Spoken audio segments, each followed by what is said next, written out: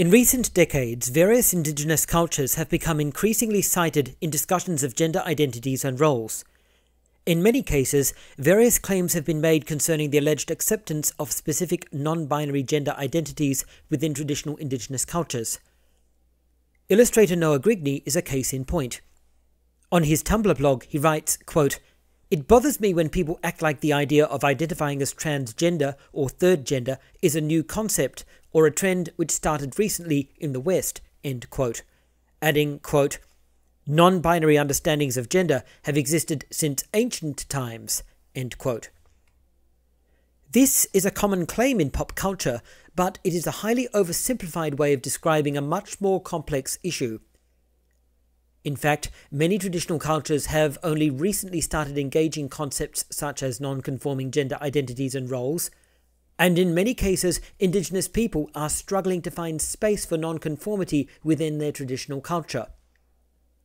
In some cases, these non conforming identities and roles are rejected by traditionally minded Indigenous people who see them as illegitimate Western inventions being imported into a culture in which they have never existed. In other cases, non Indigenous people make claims about Indigenous gender identities and roles which are demonstrably false. Sometimes the terms and concepts to which they refer are entirely modern and are not traditional at all. The term Two Spirit is a case in point.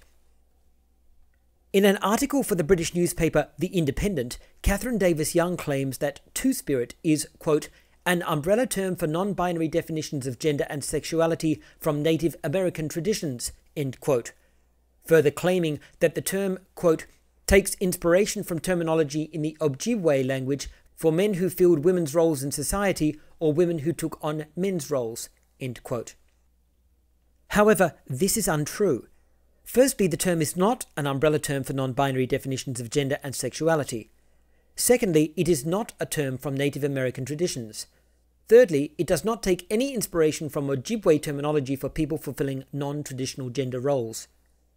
Professor of Sociology Kylan Mattias de Vries notes that the term was created, quote, in 1990 at the third annual Native American First Nations Gay and Lesbian Conference in Winnipeg, Manitoba, Canada, end quote.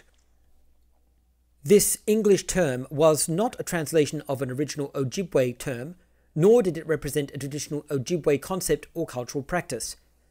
De Vries explains, quote, the concept and word two-spirit has no traditional cultural significance, end quote, and adds that the corresponding term in the Ojibwe language was also created at this time. He observes, quote, because this term was recently created, it has no linguistic equivalent or meaning in other nations and tribes. Award winning journalist Mary Annette Pember, an Ojibwe woman, describes her discomfort with this term and its lack of cultural connection to the native peoples with whom it is associated. Taking particular issue with the fact that the two spirit concept has been used to misrepresent the traditional cultures of native people, she writes, quote, as a journalist and Ojibwe woman, I am troubled by the claims that native peoples historically described LGBTQ folks as two spirited and celebrated them as healers and shamans, because the claims are mostly unfounded or only partially true. Pember's claims are borne out by the fact that misrepresentations of the term two spirit are not only ubiquitous in pop culture, but also widespread even in current academic discourse. The book Transphobic Hate Crime, written by Dr. Joanna Jamel of Kingston University and published in 2018, says, quote, Within First Nations Native American culture, trans people are referred to as being two-spirited people, end quote. Yet, as Pember explained two years before, this sweeping statement is a completely inaccurate generalization. Not only is it untrue that trans people are referred to as two spirited in First Nation Native American culture, this statement fails to reveal the modern origin of the phrase and the fact that it was created specifically to categorize traditional Indigenous roles using non traditional, non Indigenous Western frames of reference. This is an issue on which Pember comments specifically. Pember identifies the fact that well meaning non Indigenous Westerners have co opted Indigenous terms in order to represent Indigenous cultures as holding to modern Western concepts which did not exist in those traditional Indigenous cultures. She writes, quote, My concern is not so much over the use of the words, but over the social meme they have generated that has morphed into a cocktail of historical revisionism, wishful thinking, good intentions, and a soupçon of white entitled appropriation. Pember's reference to white entitled appropriation is particularly relevant and should be taken particularly seriously by well meaning non Indigenous allies of Indigenous people. It is an unfortunate fact that white Western people have historically viewed Indigenous cultures through a lens which valued those cultures insofar as they were interpreted as upholding socio cultural norms and ethical values which Western people considered important. The trope of the noble savage emerged in 17th century literature as a depiction of pre modern Indigenous people as ethically naive, morally innocent, intrinsically virtuous, in harmony with nature, and free from social conflict. This romantic primitivism viewed Indigenous people as representatives of humans in their natural and unspoiled state, and Western writers attributed to them various ethical and social values which were considered admirable in Western culture, regardless of whether or not those values were actually recognized by the Indigenous people they were describing. In some cases, Western writers attributed to Indigenous people entire speeches which they could not possibly have made, full of Western terminology and concepts which were unknown to them, in order to depict those people as ideal representatives of Western values. As Pember's article demonstrates, this 18th century tendency has unfortunately never disappeared. Two commonly circulated urban myths will serve as an illustration. One is the legend of the Rainbow Warriors, this is a short text represented as a genuine prophecy made by a member of the North American native peoples. The text reads as follows quote, When the earth is ravaged and the animals are dying, a new tribe of people shall come unto the earth from many colours, classes, creeds, and by their actions shall make the earth green again. They will be known as the warriors of the rainbow. The text is attributed to various sources, such as Old Native American Prophecy, or Cree Woman Elder Eyes of Fire, or Chief Spirit Hawk. In each case, the source is clearly intended to sound authentic to Western ears without any reference to accurate representation of indigenous culture. The story of how this text originated and was later co opted by the environmental group Greenpeace is too long and complicated to address in detail here, and is really a subject for a later video. A brief description will suffice for now. The text originates from a book published in 1962 called Warriors of the Rainbow Strange and Prophetic Dreams of the Indians. The authors were William Willoya and Vincent Brown, two American evangelical Christians who wrote the book as a Christian religious tract attempting to preach to the native peoples of North America. Although the book describes itself as, quote, this is a touching story of a great grandmother instilling the Indian spirit in her great grandson. End quote, it is completely fictional. The book is full of pious sounding evangelical Christian theology and late 20th century Western environmental concerns. It is a shameless fraud made worse by the fact that it completely misrepresents and exploits an indigenous voice for personal gain. It is an extraordinary travesty that a pseudo prophecy from this false narrative is still being circulated widely in 2020, perpetuated by ignorant Westerners who fondly believe they are promoting environmental values and Native American concerns. Another example of Western Romantic primitivism is the urban myth of the African birth song. As with the previous example, Little time will be spent here on this painfully offensive stereotype, which completely misrepresents the indigenous people it claims to depict accurately. Briefly, the story claims that before a child is born in an African village, the mother sits under a tree until the name of the child somehow comes to her. Subsequently, she teaches it to her husband. They, quote, sing the song of the child, end quote, which is described as vaguely as it sounds. The song is supposedly taught to, quote, the midwives and the old women of the village, end quote, sung during the pregnancy and sung again at the child's birth. Subsequently, the song is sung again, apparently, to the child every time they are injured or do something praiseworthy or commit a wrongdoing, as well as at their puberty. The complete impracticality of this exercise, even in a very small village, is readily apparent. Award winning Latinx activist Aida Manduley shreds this myth with sharp words which are worth quoting at length.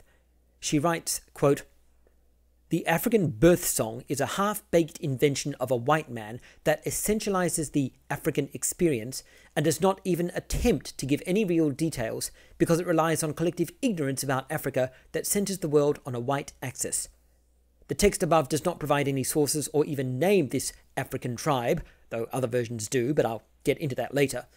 The story uses exotification, the noble savage myth, and people's ignorance to make others feel warm and fuzzy and perpetuate incorrect narratives in the name of New Agey birth BS. End quote. So much for romantic primitivism and misguided Western efforts to depict Indigenous people as the noble upholders of modern Western values. Let's return now to Mary Annette Pember's article critiquing Western commentary on the alleged two spirit gender identity in Ojibwe culture. Pember's article is particularly important for its portrayal of gender identity and roles in traditional Ojibwe society. She quotes Ojibwe tribe member Anton Treuer, professor of Ojibwe linguistics, commenting on traditional Ojibwe views of gender identities and roles. Treuer writes, quote, Sex usually determined one's gender and therefore one's work, but the Ojibwe accepted variation. He also writes that the Ojibwe described men who wanted to function as women with a term meaning, quote, one who endeavors to be like a woman, and that the Ojibwe described women who wanted to function as men with the term meaning, quote, one who endeavors to be like a man, This information provides a useful insight into how the Ojibwe traditionally viewed gender identities and roles. The past tense is used here specifically to highlight the fact that the traditional Ojibwe view is being referred to. Firstly, the Ojibwe viewed gender itself as typically determined by sex. They did not view sex and gender as distinct from each other. Biological sex usually determined an individual's gender. Secondly, they viewed roles in society as strictly gendered. Men were expected to act in one way, and women were expected to act in a different way. So, as Treuer points out, biological sex not only determined a person's gender, it also determined their social roles.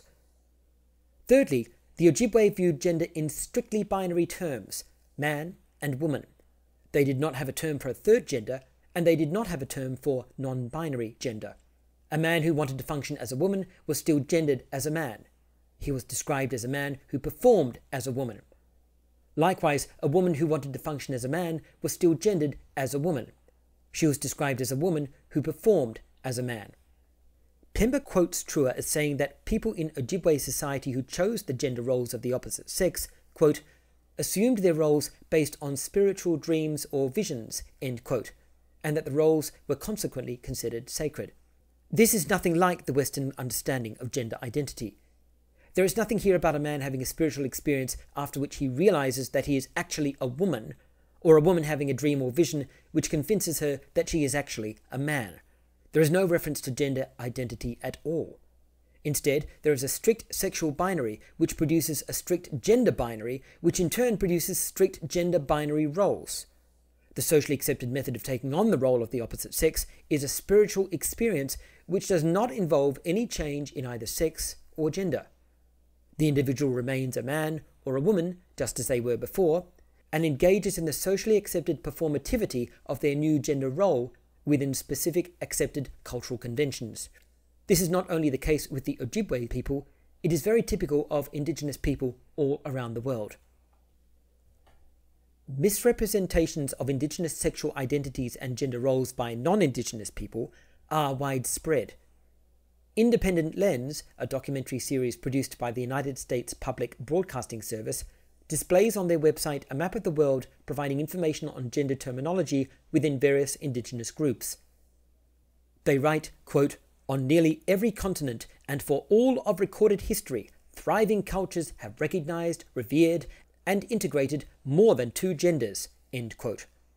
They go on to say, quote, terms such as transgender, and gay are strictly new constructs that assume three things that there are only two sexes, male female, as many as two sexualities, gay straight, and only two genders, man woman. However, examining their list of 36 terms, a very clear pattern emerges.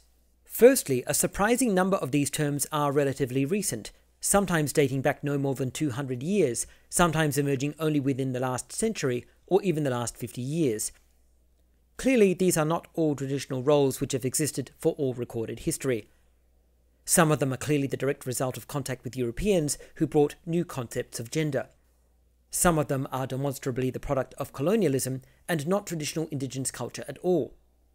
Some of them were short lived cultural practices in local communities, one of them is an example of religious fanaticism by a tiny Christian sect, and several of them are best described as child abuse.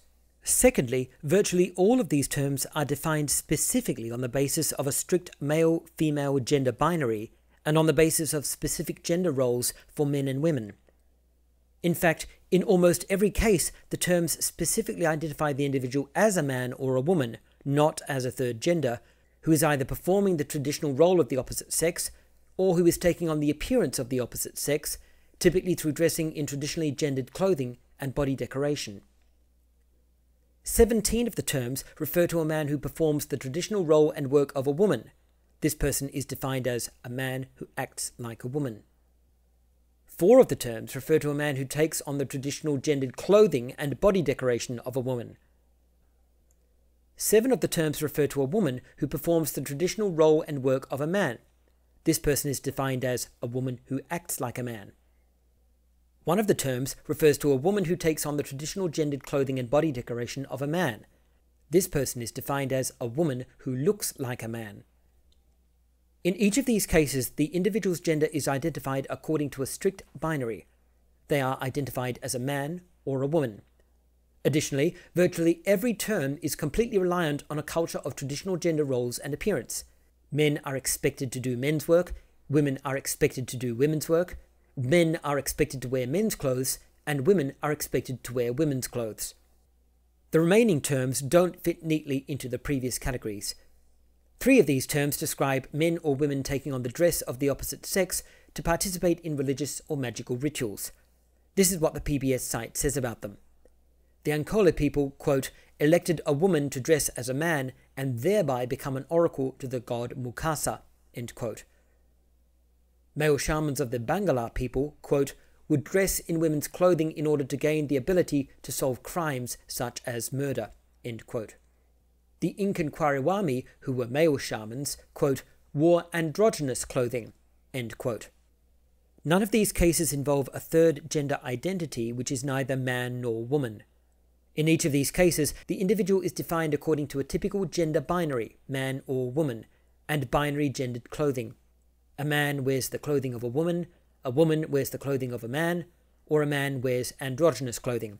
There are no actual gender identities described here, apart from the traditional binary of man and woman. Two of these terms describe children whose parents chose their gender for them based on their own perceptions of the child's physical appearance. The Sekrata are described as boys who were thought by their parents to have a feminine appearance and therefore raised by their parents as girls. The Mamluks are described as girls who were thought to have a male appearance by their parents and therefore raised by their parents as boys.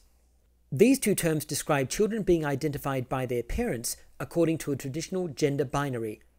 The children are identified as boys or girls, not as a third gender. Additionally, the parents view gender as determinable simply by physical appearance, and as an identity which can legitimately be chosen for children by their parents and enforced on them by society. Such views are completely rejected by modern gender studies and gender variance advocates. Forcing children to accept traditional binary gender identities and roles simply on the basis of their physical appearance, without any reference to their self identity, is identified by some gender variance advocates as child abuse. One of these terms describes young boys who are dressed by adults in girls' clothing and required to dance for the entertainment of men. The practice existed in the Ottoman Empire between the 17th and 19th centuries. This role was defined according to a traditional gender binary. Young boys were dressed in gender coded clothing and expected to perform feminine gender roles, such as dancing. This role would end once the boys reached puberty, developing deeper voices and facial hair. The boys were also given to men who paid money to exploit them sexually. This is not the description of a gender identity. It is the description of a male female gender binary, gendered clothing, and the systematic sexual molestation of children.